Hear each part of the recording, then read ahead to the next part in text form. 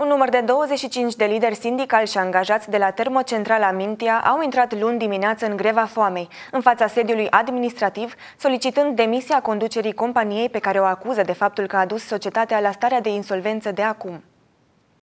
În paralel, în curtea termocentralei, peste 100 de angajați au declanșat un protest spontan încă de la prima oră de program. Suntem 25 de oameni în greva foamei, toți liderii de sindicat și alți angajați. Cerem să se facă de urgență acorduri cu fiecare sindicat legal constituit. Cerem demisia conducerii complexului, inclusiv a consilierilor, pentru că din cauza lor suntem în această situație, a declarat pentru Agerpres președintele Sindicatului Liber Independent Electrocentrale Deva, Mircea Crișovan. Potrivit acestuia, oamenii sunt nemulțumiți și de faptul că firma de insolvență desemnată ca administrator special al CEH a denunțat unilateral contractul colectiv de muncă și cer reglementarea acestei situații. În plus, se solicită anularea unei decizii a conducerii CEH, prin care personalul din termocentralele Mintia și Paroșeni este trimis prin rotație în șomaj tehnic, energeticienii apreciind că hotărârea ar trebui aplicată și în sectorul minier, neafectat de această măsură. În acest context, energeticienii cer separarea de urgență a activității de minerit de cea de producere a energiei electrice, susținând că prin aplicarea unei asemenea măsuri se respectă și o cerință a Comisiei Europene formulată după ce compania a beneficiat de un ajutor financiar din partea statului pentru achiziția de certificate verzi. Până nu vor fi demiși cei din conducerea complexului, nu vom pleca de aici. Am protestat, am fost la prefectură, am fost la Comisia de Dialog dialog social, am fost la Ministerul Energiei. Nu mai putem, a conchis liderul sindical.